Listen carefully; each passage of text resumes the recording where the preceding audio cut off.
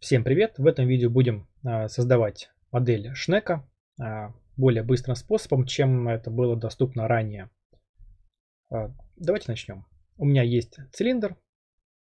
Я создам эскиз на вот этом виде. Нажму клавишу P английскую, сделаю проекцию. С помощью линии соединю центры этих отрезков. Ну и с привязкой вот к центральной линии как-то вот брошу вот такую линию под углом. Так, нажму галочку обязательно. Так, и продолжу с помощью линии. Отсюда создам сюда такую линию и до пересечения сюда. Хорошо. Теперь я выделю эту точку, обязательно я ее зафиксирую. Так, клавиша D. Ну, пусть будет здесь, например, 10 миллиметров. То есть мы видим, что меняя данный размер, у нас меняется угол наклона нашей линии. Ну, пусть останется 10 миллиметров. Далее я вызову инструмент Offset во вкладке Modify и смещу вот эту линию, скажем, на минус 5 миллиметров. Далее с помощью линии я просто замкну эти фрагменты, чтобы эскиз был а, замкнутым. Просто перейду в Solid, выберу инструмент а, Emboss. Выберу эскиз и выберу цилиндрическую поверхность. Только давайте здесь сделаем Emboss, то есть наружу, и пусть будет здесь 10 миллиметров. Так, а если 30? Хорошо, пусть будет 30 миллиметров. То есть нажму ОК.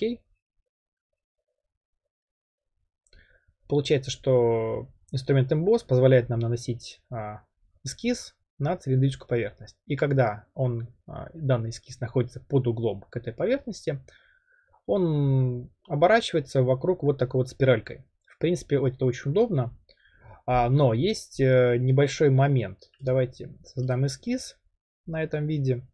Клавиша P. А, значит, создам проекцию всего тела. И с помощью инструмента Measure посмотрим, какой здесь у меня получился шаг. Так. Запишу себе на листочек. То есть у меня получается 62 832 миллиметра.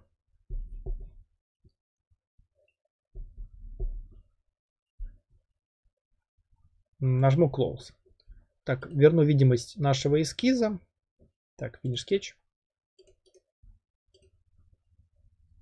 Итого получается, у нас есть размер вот этот вот 10 миллиметров.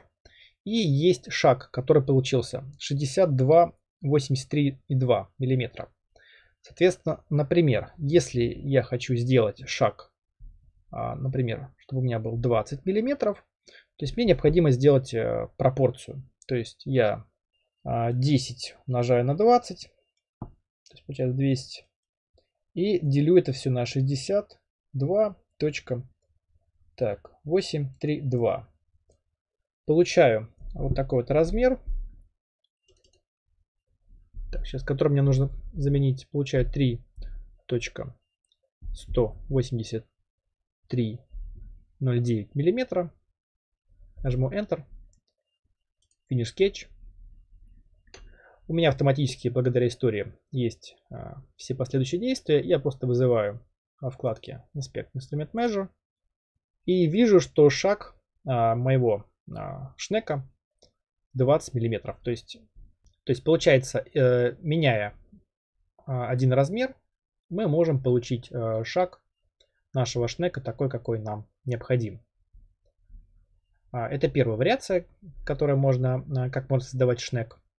Очень еще один был такой популярный вопрос, который, в принципе, многим ломал голову. Это создание резьбы с переменным шагом.